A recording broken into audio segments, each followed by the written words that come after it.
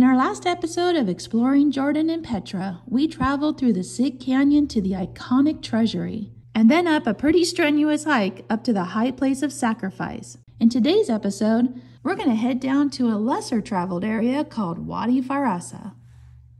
There's a benefit. Nice. Look at that scene. Wow. Yeah, pretty awesome. Wow, look at that. Oh, wow.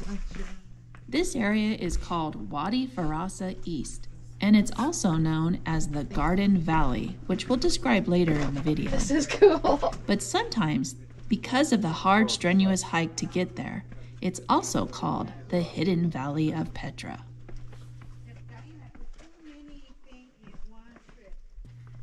After you descend the countless numbers of Nabatean carved stairs, you reach a number of tombs, cult chambers, garden areas, and the amazing construction of the Nabatean water storage structures. When we got to the bottom of the cliff, we noticed that there was nobody around. We were literally the only people there. I just had to go see what was inside the first Nabatean carved room. This was called the Cult Chamber. Oh, neat.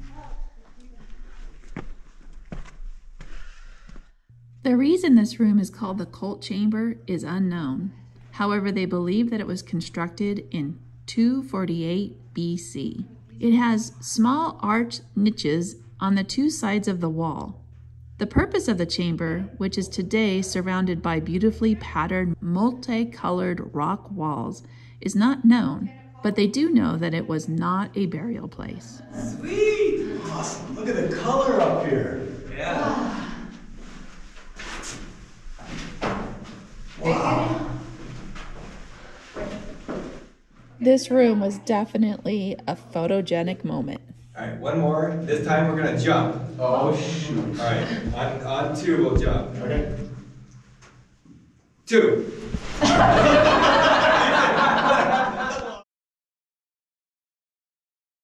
at that view when you come out.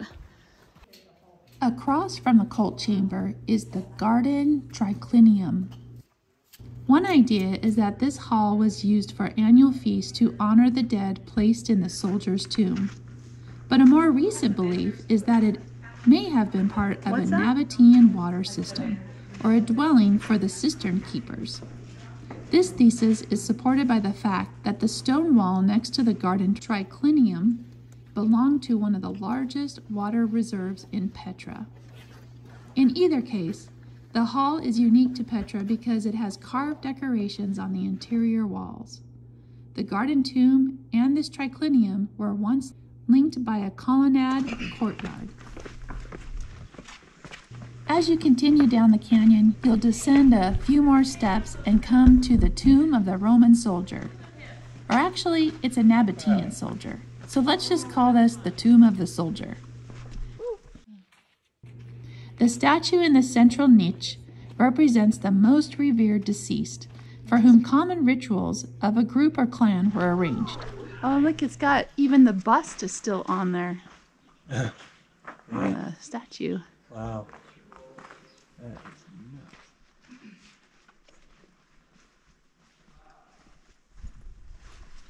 Whoa. Oh, moly. Wow.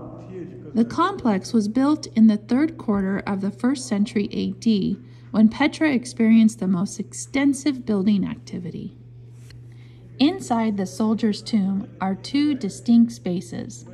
The first is a space with several niches carved in the wall, most likely for burial purposes. To the left, there is a doorway leading to a second space, an antechamber with bare walls. That is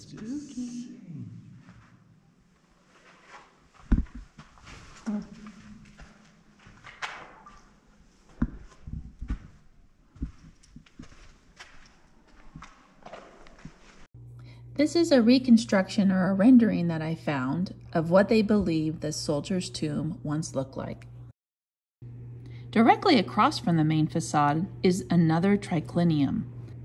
This space is much more ornately carved than the tomb structure itself. Along the walls of the triclinium, there are alternating columns and shallow alcoves, and in the middle of the room, there are the remains of a U shaped triple bench, which in Roman society was used for sitting or reclining. Can you imagine reclining in a tomb of a soldier? I wonder why they why they did that. Oh, oh the columns. All oh. your like this. I gotta get this this in on film. Are you going in? Oh no no no. No? Come on, tell me. Okay, can you hold that first? Okay. All your faces should be like okay. Try to fit your faces in there. All right. Okay.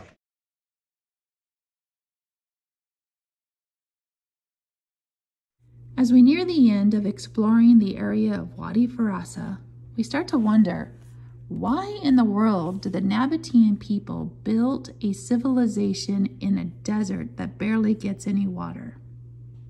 Well, after doing some research, I learned that in ancient times, trade was the wealth of the desert. So, around 300 BC, the nomadic people of the area began to build the city of Petra, strategically locating it in the only place caravans can travel from the, the desert of Saudi Arabia to Gaza and the Mediterranean Sea. As travelers passed through, the Nabateans would require a toll tax and sell needed items to weary travelers, much like they do today. Even if you like to buy something, we will give you di- discount in this shop. Oh. Yeah, really. I want some frankincense. What? Frankincense. As more and more travelers came through their area, wealth grew, and eventually they wanted to show off their newfound wealth, especially to their neighbors in Egypt. So they began to build their elaborate city. But the only challenge they had to solve during that time was the lack of water and food. Keep in mind that travelers came from all over, and much influences came from the outside world. Therefore, they were able to acquire the talents of engineers to build aqueducts, dams, cisterns.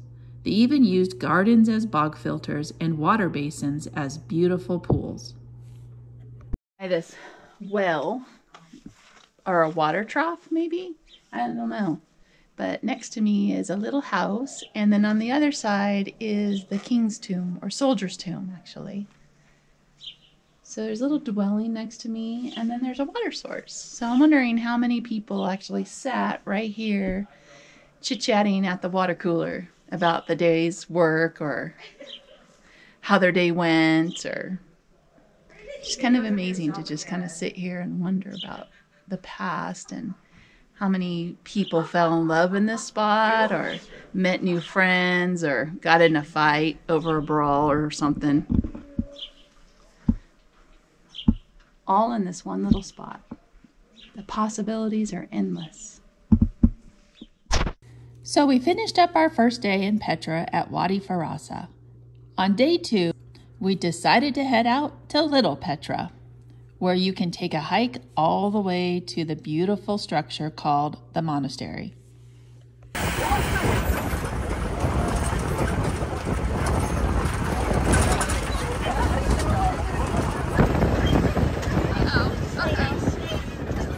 Oh, you found a spot.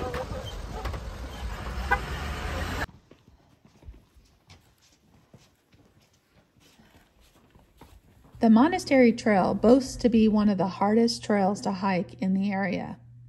It's only a little over a mile and a half, but it claims that you have to travel over 800 steps. Now, I don't know if that's 800 steps up or down or both, but it was quite a remarkable trail, both in the skill level and in the scenic views.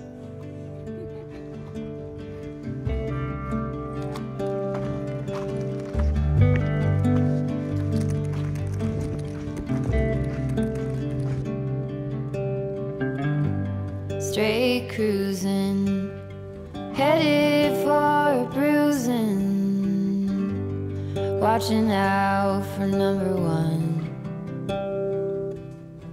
You gotta slow down look around you, son. Today is just today and not tomorrow.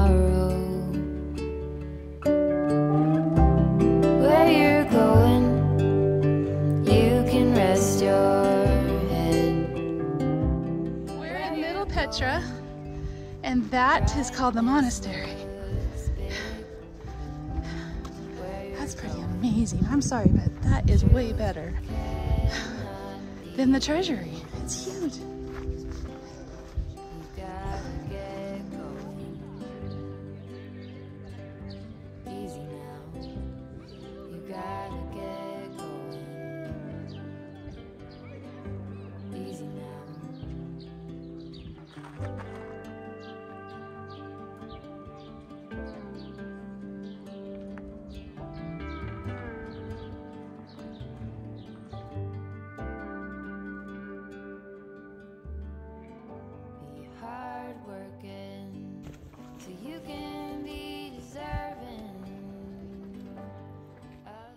Watching my footing's important because it's so slippery here. Yeah.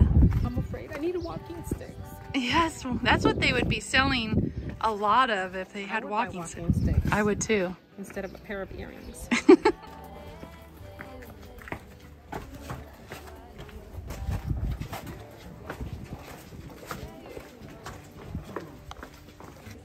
We're in the canyon of going from Little Petra to the treasury, and it's like we're in a bazaar. With all the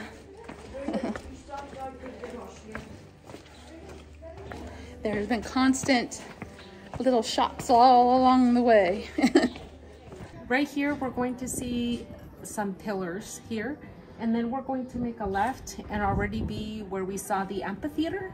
really? Yes, so we're not that far already.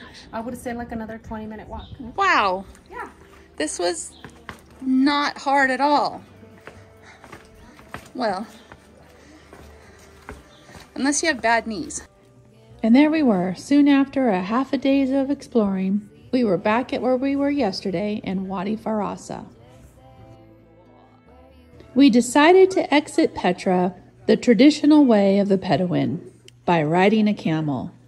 This had been my first time ever riding a camel, and I was a little nervous at first. Oh my gosh!